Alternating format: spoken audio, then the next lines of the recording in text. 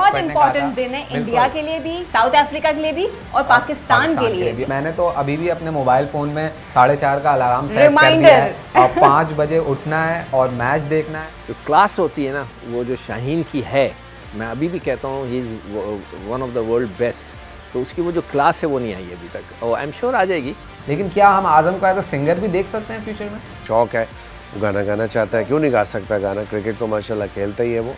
अस्सलाम वालेकुम the world Cup show के साथ मैं हूँ मोहम्मद मुजम्मिल आसिफ। और मैं हूँ हिना दीदार। आज फाइनली वो इफ्स एंड बर्ड से कौन जाएगा कौन नहीं जाएगा वो ख़त्म हुए और एक ग्रुप से हमें सेमीफाइनलिस्ट का पता लग चुका है और वो हैं न्यूजीलैंड और इंग्लैंड। तो एक बड़ा अपसेट हुआ। आज टी ट्वेंटी वर्ल्ड कप का सबसे बड़ा अपसेट था ये अब तक का।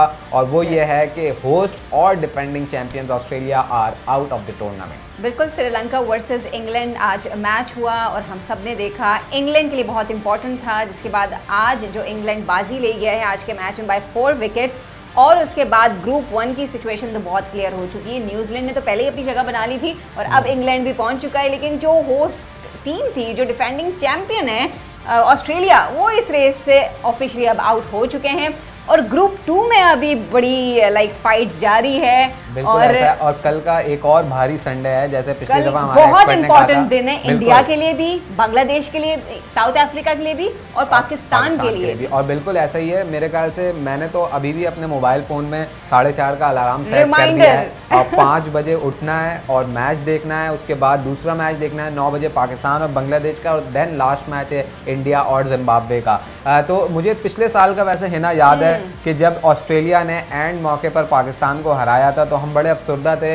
यूएई में ज़्यादातर पाकिस्तान और इंडिया का क्राउड होता है। इंडिया ऑलरेडी आउट हो चुकी थी। पाकिस्तानी क्राउड वहाँ पर बहुत बड़ी तादाद में आता है और फाइनल वो हम हमने देखा था वो जो फाइनल हुआ था उसमें कोई क्राउड नहीं था कोई मज़ा ही नहीं था। तो हम बड़े अफसरदा हुए थे। लेकिन एज बी से के हिस्ट्री वो चीज़ें दोबारा रिपीट करती हैं। और ऑस्ट्रेलिया में जब अब सेमीफाइनल होगा लेकिन ऑस्ट्रेलिया सेमीफाइनल में नहीं होगा। हम्म। तो आई होप के ऑस्ट्रेलियन फैंस के लिए थोड़ा सा बड़ा मुश्किल वक्त है कि उनकी अपनी टीम मौजूद नहीं होगी सेमीफाइनल में। लेकिन बट मुजम्मिल मुजम्मिल चले ऑस्ट्रेलिया की तो अलग बात है लेकिन हम पाकिस्तानी क्रिकेट फैंस जो है ना हम अपने लिए बड़े परेशान है। कल का हमारे लिए दिन बहुत इंपॉर्टेंट है और मैं तो बहुत नर्वस हूँ। नर्वस होने की बात नहीं क्योंकि 90 हम्म। और 10 का एक रेशियो मेरे हिसाब से लगता है। हम्म। और वो ये है कि 10 परसेंट जो है वो अगर नेचुरल कोई सर्कमस्टांसेस क्रिएट हो गए तो पाकिस्तान का चांस चांस है। Otherwise there is no chance India और साउथ अफ्रीका अपने मैचेस बसानी जीत कर सेमीफाइनल में क्वालिफाई कर जाएँगे। चलें लेट्स सी टुमारो क्या रिज़ल्ट आता है सामने। और fingers are cross for Pakistani team हम उम्मीद करते हैं पाकिस्तान कल का मैच अच्छे मार्जिन से जीते। So let's move on to experts corner all right जो आज के एक्सपर्ट्स हमारे साथ मौजूद हैं वो हैं former test cricketer Moin Khan और सिकंदर बा मोइन भाई टी ट्वेंटी वर्ल्ड कप का सबसे बड़ा अपसेट हो गया है आज और होम टीम डिफेंडिंग चैंपियंस जो है वो इस टूर्नामेंट से बाहर हो गई है। तो इस परफॉर्मेंस को सबसे पहले बताएँ कैसे देखते हैं आप? अब बिल्कुल ऑस्ट्रेलिया नो डाउट एक बहुत ही बड़ी टीम है टी ट्वेंटी की you know and playing at home and getting out of the tournament naturally fans को तो तकलीफ़ होगी ऑस्ट्रेलियंस को लेकिन एट द सेम टाइम उन क्रिकेटर्स को जिनको पता है ऑस्ट्रेलिया की वर्थ का ऑस्ट्रेलिया के जो स्ट्रेंथ है लाइक uh, जो उनकी स्किल्स क्रिकेटिंग स्किल्स है उस पर किसी किस्म का कोई डाउट नहीं होता। बट आउट uh, हो जाना नेचुरली एक uh, बहुत बड़ा सेटबैक है पूरे नेशन के लिए ऑस्ट्रेलिया के लिए as well as the fans who follows Australian cricket so I am also one of the fan of Australian cricket जो उनका वे ऑफ़ स्टाइल है जो क्रिकेट खेलने का you know it's very positive and बड़ा fighting होता है उसमें नज़र आता है वो किसी भी मौके पे हार नहीं मानते यू नो सो बाहर हो जाना बिल्कुल एक बहुत बड़ा सेटबैक है। ओके सिकंदर बाग साहब टी ट्वेंटी वर्ल्ड कप के हिस्ट्री में एक फैक्ट है कि होस्टिंग टीम जो है वो ना तो टाइटल जीत पाती है ना जीत सकी है अभी तक और ना डिफेंडिंग चैंपियन बन सकती है। तो आपकी क्या राय है इस हवाले से? रिकॉर्ड्स बनते हैं ना ये बनते ही टूटने के लिए। तो कभी ना कभी ज़रूर टूटेगा कोई ज़रूरी नहीं है कि आप कहें कि नहीं, कभी ऐसा नहीं होता, होगा। और इन कभी आप देखेंगे कि ये ज़रूर टूटेगा इसलिए कि रिकॉर्ड बनते ही इसलिए ऑस्ट्रेलिया की जो टीम है, जो पहला मैच ख़राब खेली, उसने उनको शायद, उससे बाद उठ उठ नहीं पाए वो। सही तरीके से। अच्छा सिकू भाई पाकिस्तान में कल मैच खेलना है और एक बहुत सारे पॉजिटिव में से एक ये भी है कि शाहीन शाह आफरीदी अब उस मैच फिटनेस की जो बात हो रही थी उस पर ऐसा लग रहा है कि वो आ गए हैं। लास्ट में उन्होंने तीन बड़े क्रूशल मोमेंट्स पर विकेट्स लेकर दिए। तो उनकी परफॉर्मेंस को कैसे देखते हैं और क्या समझते हैं कि वो मैच फिटनेस उन्होंने गेन कर ली? नहीं मैम नहीं अभी भी बिल्कुल नहीं। देखें जो अच्छा बॉलर होता है वो उसके आउट करने का अंदाज़ भी एक डिफरेंट होता है। एक, हम जैसे बॉलर आउट करें, वो अलग है कि शॉट मारा, उधर कैच हो गया, इधर मारा, उधर कैच हो गया, वो एक सारे आउट करते हैं। जो क्वालिटी बॉलर होता है, जो वर्ल्ड क्लास बॉलर होता है, जिस तरह मैं शाहीन को समझता हूँ कि वो वर्ल्ड क्लास बॉलर है, उनके आउट करने के तरीके बड़े मज़ेदार होते हैं और वो हाई क्लास होते हैं कि गेंद पड़ा है ऑफ़ स्टम्प से अंदर आ रहा है लेग बिफोर हो रहे हैं, आप थ्रू द गैप घुस रहा है या आप बिल्कुल स्ट्रेट कॉट बिहाइंड करें तो वो क्वालिटी जो होती है, वो एक अच्छे बॉलर की होती है और वही उसको देखने का मज़ा आता है। ये कोई आउट कर मतलब ऐसे तो सारे आउट कर देते हैं कि यहाँ मारा, उधर खड़ी हो गई, किसी ने कैच पकड़ लिया मिड ऑफ़ पे कैच पकड़ लिया। वो सब आउट करते हैं इट्स एन एवरेज थिंग जो क्लास होती है ना, वो जो शाहीन की है, मैं अभी भी कहता हूँ he is one of the world best तो उसकी वो जो क्लास है, वो नहीं आई अभी तक। और आई एम श्योर आ जाएगी। वो एक इंजरी है, वो उसको ज़बरदस्ती खिला रहे हैं, और वो भी खेल रहा है ज़बरदस्ती। तो आई एम श्योर वो क्लास उसकी वापस आएगी। अच्छा मोई साहब, जैसे कि कल एक बड़ा दिन है for all the teams and for Pakistan too important दिन है पाकिस्तान का, जीतना बहुत लाजमी है, लेकिन कोई अपसेट होता हुआ कल देख रहे हैं आप? देखिए क्रिकेट है, और यही मैंने अभी कहा है कि अपसेट तो होते हैं और बड़े बड़े अपसेट हुए। पाकिस्तान के ख़िलाफ़ भी एक अपसेट हुआ जिम्बावे टीम जो है वो जीत गई पाकिस्तान से।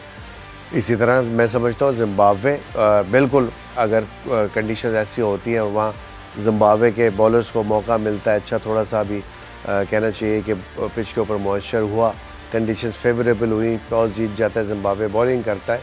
जल्दी आउट कर देता है तो यकीन ऐसा हो सकता है कि एक अपसेट और कर दे इंडिया के खिलाफ भी क्योंकि उसको भी कॉन्फिडेंस तो मिला हुआ है इस टूर्नामेंट के अंदर। पाकिस्तान इंडिया का अगर मैच देखा जाए बिल्कुल नेक टू नेक आखिरी ओवर आखिरी बॉल तक ये मैच गया था you know where as Zimbabwe ने पाकिस्तान को 130 रन का अदब जो है वो चेज़ नहीं करने दिया you know you never know it's a game of cricket and most uncertainty वाला फॉर्मेट है ये।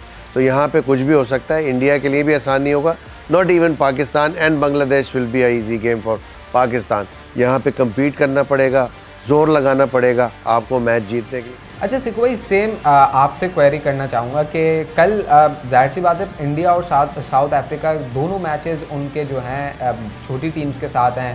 अपसेट के चांसेस बहुत ही कम हैं। हमने जो सोशल मीडिया और लोगों से बात की, हमने अपने शो में भी बात की है तो 90 परसेंट और 10 परसेंट का एक रेशो है कि शायद 10 परसेंट कोई चांस बन जाए बारिश की वजह से या कोई ऐसा अपसेट हो जाए।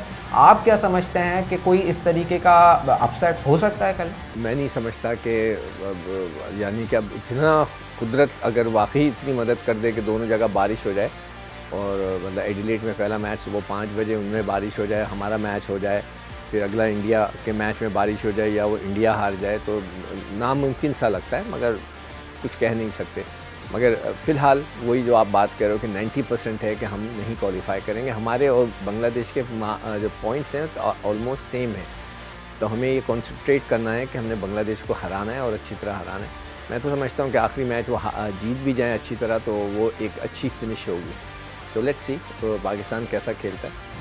ओके okay, क्योंकि मोइन खान साहब हमारे साथ मौजूद हैं और जिस तरह मुजम्मिल ने मुझे एक वीडियो दिखाई आज़म खान की सिंगिंग की वीडियो वायरल हम्म। हो रही है तो क्यों ना मोइन साहब से पूछें सर थोड़ा बताइए कि क्या कैसे स्किल्स आज़म खान में सिंगिंग के क्या कहेंगे बींग अ फादर मुझे तो पता नहीं पहली बात है मुझे किसने सिंगिंग करते हुए देख लिया।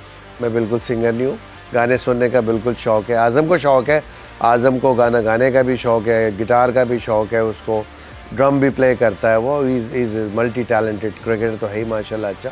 तो I think I am glad very proud to be is father like कि उसको जो भी उसके शौक़ है वेरी वेरी uh, कहना चाहिए कि बहुत मज़ेदार शौक़ है। Uh, हमारे घर में सबको गाने पसंद है और इवन पाकिस्तान में म्यूज़िक से बहुत ज़्यादा लगाव है लोगों को। तो लोग जब देखते हैं कि क्रिकेटर्स स्पोर्ट्समैन यू नो गाने गाते हैं इंजॉय करते हैं इसको उनको भी आ, अच्छा लगता है यू नो अच्छा तो मोइन भाई क्या हम आज़म को वैसे देख सकते हैं? हमने काफ़ी प्लेयर्स को देखा है वेस्ट इंडीज़ के ख़ास तौर पे उन्होंने अपने गाने भी रिलीज़ किए प्रोफेशनली सिंगिंग को अपनाया। तो आज़म को भी इन फ्यूचर हम इस प्रोफेशन में देख सकते हैं। क्रिकेट तो वो खेल रहे हैं ऑब्वियसली उनकी प्रायोरिटी भी है जैसा आपने कहा। लेकिन क्या हम आज़म को एज अ सिंगर भी देख सकते हैं फ्यूचर में?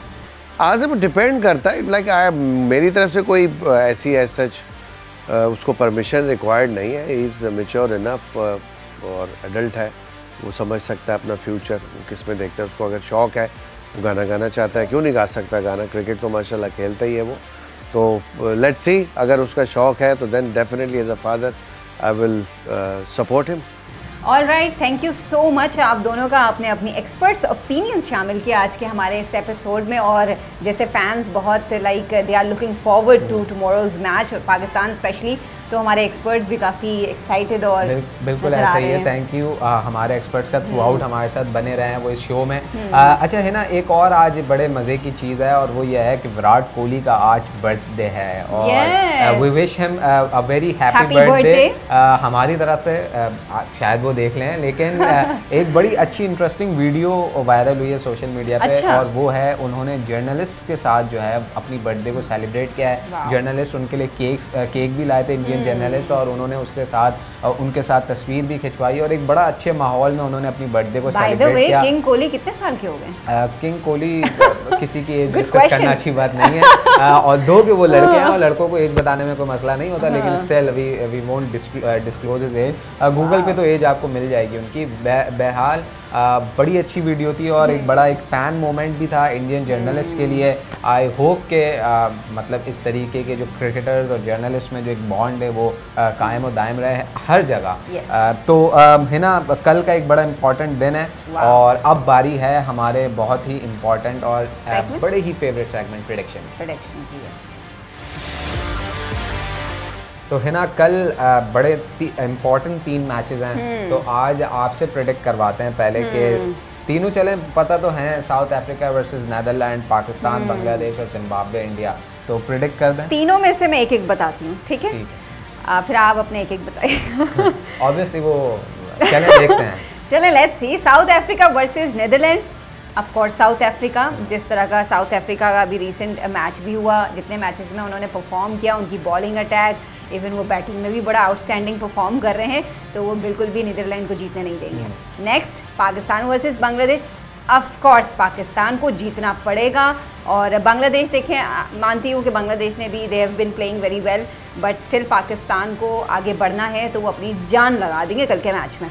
And third is Zimbabwe versus India हमारी विश तो यही है कि जिम्बाब्वे जीते ताकि हमारे लिए भी रास्ता थोड़ा आसान हो। But I think tough competition होगा और इंडिया जीत जाएगा। अच्छा बाकी दोनों मैचेस पे तो मेरी सेम रहा है लेकिन मुझे हम्म। ऐसा लग रहा है कि कल बांग्लादेश भी टफ टाइम देगा पाकिस्तान को तो I go with Bangladesh in Pakistan match और फिर साउथ अफ्रीका और इंडिया मुझे ऐसा लग रहा है वो अपसेट नहीं हो सकता क्योंकि बांग्लादेश कॉम्पिटिटिवली हम्म। अच्छी टीम है इन दोनों टीम से तो I go with Bangladesh against Pakistan South Africa and India चलें जी I am very very excited and nervous too at the same time क्योंकि कल तो पावर पैक डे रहने वाला है और तीन तीन मैचेस वो भी बहुत इंपॉर्टेंट मैचेस अभी से ही मैं अलार्म रखने वाली हूँ। कल पाँच बजे उठने वैसे पाँच बजे तो नहीं साढ़े चार पे नौ बजे वाला तो, मैच ज़रूर देखें। नहीं मैं तो पाँच बजे वाला भी इंशाल्लाह उठ के देखूँगा। और कल फ़ैन कल जो है मैं मुझे फ़ैन से ज़्यादा जो है ना मतलब देखने में मज़ा आता है। हाँ। क्योंकि अगर हम यहाँ बैठे हैं तो हमें मैच देखना बहुत ज़रूरी है। और कल आप लोगों के लिए एक सरप्राइज़ भी है और कल हम एक बड़े स्पेशल जगह पर अपना शो करेंगे तो stay tune to the World Cup shows की जो कल की जो एपिसोड होगी पोस्ट मैच की उसके लिए आप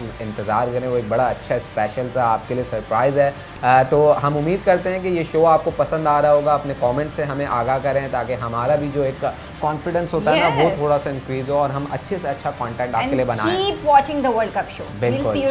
अल्लाह हाफ़िज़।